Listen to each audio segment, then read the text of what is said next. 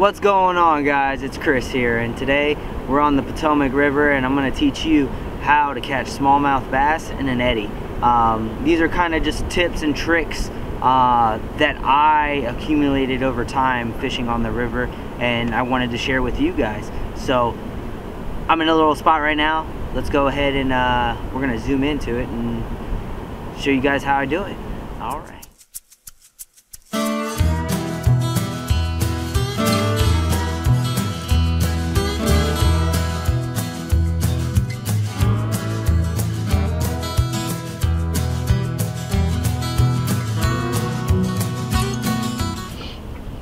All right, so what we have here is just like a, an exposed rock. Um, on the left-hand side, about right here, you can see a little ripple coming down.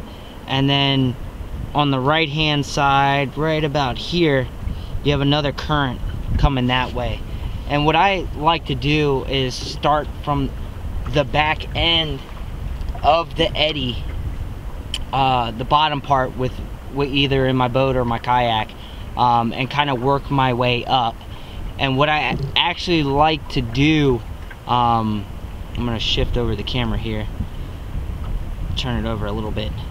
So there's an there's actually an eddy line okay? Um, that's what they call it on the river. I don't know if you can see but like right here you have a little bit of ripple okay? And that ripple comes down alongside the eddy okay and those river smallmouth like to sit right along that eddy line. So what I'll actually start doing when I come into an eddy or I pull up to the first eddy um, I'll actually start making casts along that eddy line because those smallmouth are going to be sitting waiting for disorientated fish coming through crawfish any any kind of little bait that they can kind of scoop up that gets shooken up coming through the rapids.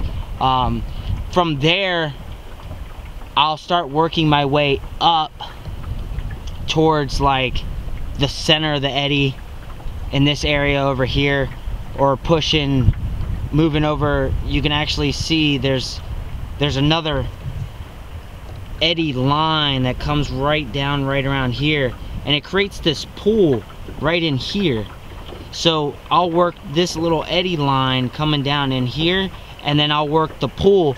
And what I'll do is I'll start from the back of the the furthest point of the eddy where there's no current and there's kind of a pool and work my way up um, closer to the rock and and fish all all that kind of structure up in here and here. And then there's more rocks that way. Um, so that's that's pretty much kind of just like a beginner tip on on what I do to catch river smallmouth. Uh, now when you pull into the eddy you want to kind of check the depth you know what I mean? And depending on the the eddy itself you want to how deep the eddy is is kind of going to determine what kind of weight you throw. And that's something that we can get into with uh, with another video in the in the near future um, so I'm gonna go ahead and uh, make some casts and, and kind of just show you guys how I do it, all right?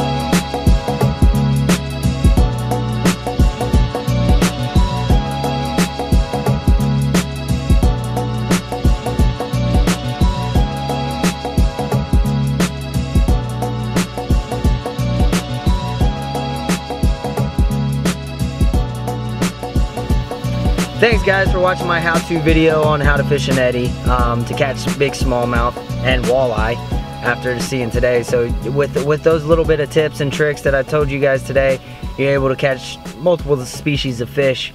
Um, if you guys have any questions, I'll be more willing to answer them. Just hit me in the comments below. Uh, if you guys like this video, smash that like button for me, please. And uh, just stay tuned and like always, we going fishing. See you guys later.